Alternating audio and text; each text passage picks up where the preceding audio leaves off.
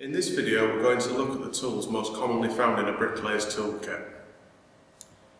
The brick trowel, the most heavily used item in a bricklayer's toolkit. It's used for gathering mortar, spreading mortar, applying cross joints and they come in a range of shapes and sizes.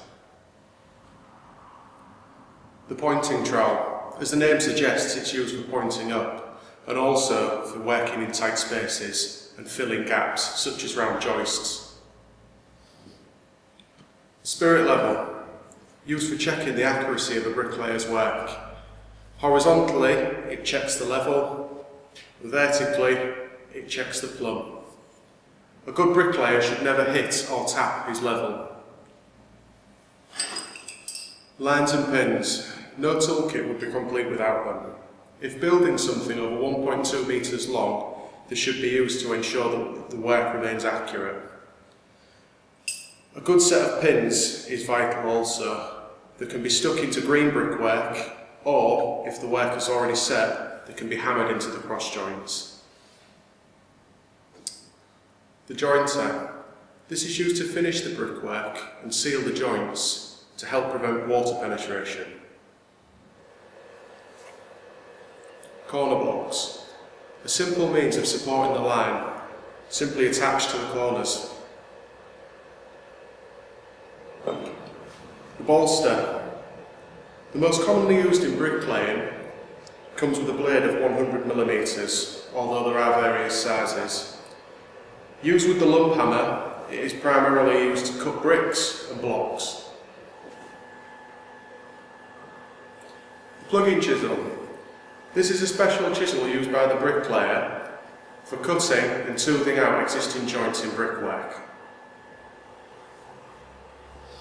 The boat level, used primarily for decorative work. It can also be used for working in tight spaces where a normal level would be too big. The builder's square. As the name suggests, these are used for checking the square of your work. Also, used heavily when the setting out process is being done. Tingle. If a wall exceeds 9 metres in length, it's necessary to use a tingle. It will help maintain the accuracy of your work and it will also take the sag out of the line. The line is wrapped around the tingle and then the tingle is then levelled and plumbed up. Or alternatively, you could use a piece of paper or plastic. The brick hammer, used for the rough cutting of bricks, used for cracking and for the shaping of bricks. Tape measure, used for transferring measurements around jobs and also for gauging brickwork and blockwork.